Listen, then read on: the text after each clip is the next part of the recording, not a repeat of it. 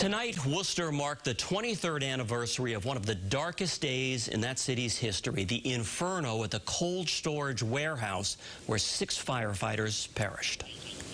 These men entered upon the grounds of this now sacred space. On the very spot where the infamous cold storage warehouse once stood, folks ignored a wet night to pay their respects to six brave men as a half dozen sets of gear got a firefighter's salute. As bagpipers walked past, the fire trucks pulled out of the station ever so slightly in tribute to the Worcester Six.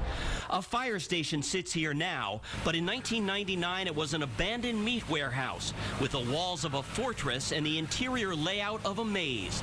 That's when a homeless couple squatting in the aging building knocked over a candle and started a blaze that drew 75 firefighters.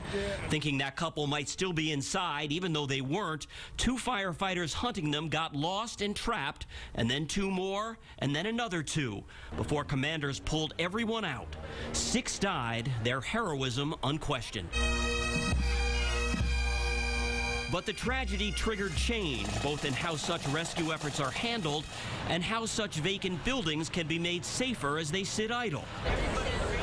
With the hope that kids too young to remember or understand the tragedy won't see anything similar in their lifetime. Involuntary manslaughter charges against the homeless couple were eventually dismissed. The building's owner was never charged, but was sued by the families of those firefighters and settled out of court.